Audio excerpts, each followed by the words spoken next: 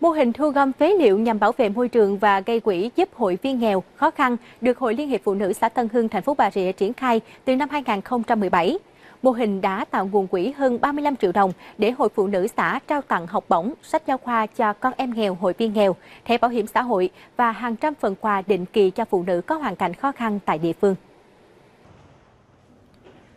Bà Mai Thị Thu, ngụ ấp Phước Tân Ba, xã Tân Hưng, thành phố Bà Rịa, có hoàn cảnh khó khăn.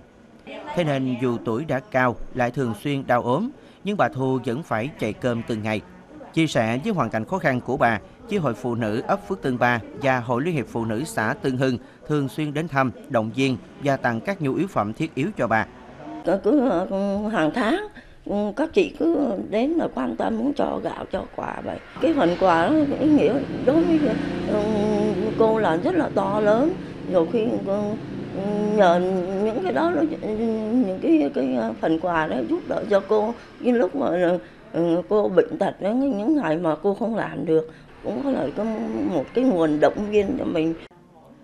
Bà Nguyễn Thị Hiếu là hộ có hoàn cảnh khó khăn và neo đơn của ấp Phước Tân 2, xã Tân Hưng, thành phố Bà Rịa. Bà Hiếu mắc bệnh hiểm nghèo, phải chạy thận hàng tuần. Nên để giảm bớt chi phí chăm sóc sức khỏe cho bà, Hội Phụ nữ xã Tân Hưng đã trao tặng thẻ bảo hiểm y tế. Không những vậy, bà còn được hội thường xuyên đến thăm hỏi, hỗ trợ gạo hàng tháng. Tôi cảm ơn quý cô, quý hội phụ nữ để giúp đỡ cho tôi, đỡ được phần nào mà tôi đỡ buồn. Nhá. Gia đình tôi đơn chiếc lắm, còn mình tôi phụ nữ tới thăm thì đỡ được thêm một chút rồi hàng xóm đây họ cũng thương họ thấy ở mình mà không có thu nhập lâu lâu họ tới họ cho năm ba ký gạo xóm lòng xóm này họ thương tôi lắm những suất gạo, những phần quà, thẻ bảo hiểm y tế tuy giá trị không lớn, nhưng đã phần nào an ủi, động viên, khích lệ những hoàn cảnh khó khăn. Đáng quý hơn, khi nguồn kinh phí để có được, chúng xuất phát từ những hoạt động nhóm nhưng đầy ý nghĩa, đó là cứ 3 tháng một lần, hội viên phụ nữ các ấp trên địa bàn xã Tân Hưng dành ra một buổi sáng chủ nhật để thu gom phế liệu để lập quỹ giúp đỡ hội viên nghèo.